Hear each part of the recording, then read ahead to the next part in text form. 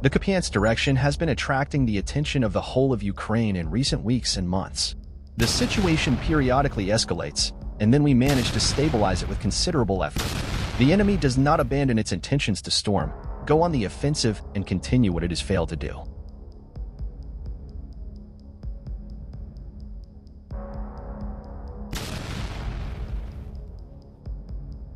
Russian troops resumed assault operations at the Kupiansk and Lyman directions and twice unsuccessfully tried to break through the Ukrainian defense.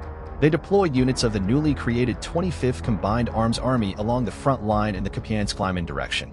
Ukrainian forces have recorded a total of 12,000 soldiers of the 25th Army along the front line in the Kupiansk-Lyman direction. It consists of mobilized and personnel of severely degraded units that have completely lost their combat capability.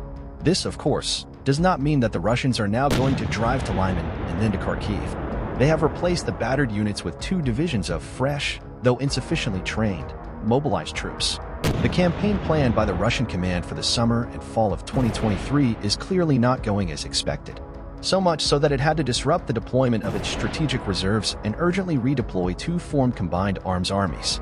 Their strategic deployment was supposed to last until about December of this year, that is, according to the Russian General Staff, having repulsed the Ukrainian offensive in the summer and early fall, they expected to have two fresh combined arms armies at their disposal by the beginning of winter. All this made sense only if Russian troops managed to completely slow down the Ukrainian offensive this summer and fall. For this purpose, the General Staff of the Russian Armed Forces planned and prepared a strategic defensive operation, which was supposed to stop and deplete the strike groups of the Ukrainian armed forces. Then, through a local offensive operation of an operational and tactical scale on the Kupiansk direction, to force the Ukrainian command to spend its reserves and thus create conditions for regaining the strategic initiative by the beginning of winter.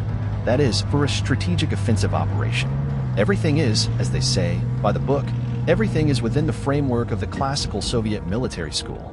However, the problem is that the Ukrainian offensive has not been completely stopped despite all the bravura statements by officials of the top military and political leadership of the Russian Federation, including Putin himself.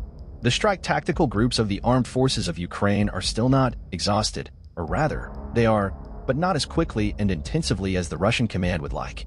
Accordingly, it has not yet been possible to completely slow them down either. Obviously, if the two Russian armies were in the right tone at the moment, they would have surfaced on their own in other operational and tactical areas, for example, near Kupiansk, Bakhmut, Donetsk, or Tokmak, rather than being used as reserves. Currently, the Ukrainian Defense Forces are keeping the occupiers in the Bakhmut direction in a semi-surrounding fire and are doing everything possible to cut off the enemy's supplies. They are trying to prevent Ukrainian soldiers from developing an offensive on the northern flank of Bakhmut.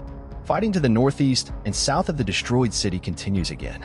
The Russians have redeployed the 88th Motorized Rifle Brigade and started counterattacking in the area east of Andrivka, as well as north and northeast of Kurdiumivka. Fierce fighting is taking place for Kurdiumivka, and the Russians have been pushed back to its eastern and southern parts.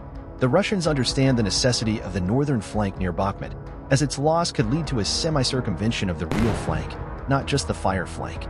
This can then lead to various consequences, of course, as it will be harder for the enemy to defend when there are Ukrainian forces on all sides. That is why the Russians are making every effort to hold these positions and prevent us from developing an offensive in this area of the front. To achieve their goal, the occupiers north of Bakhmut are resorting to dynamic defense tactics and counteroffensive actions.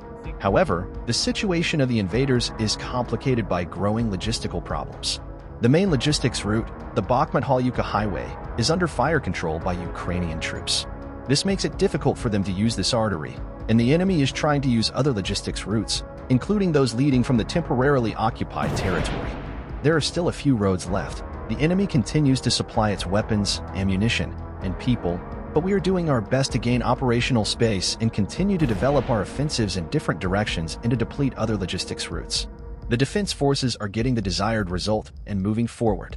This is confirmed by the fact that Ukraine has already deoccupied more than 50% of the territories that Russians seized after February 24, 2022.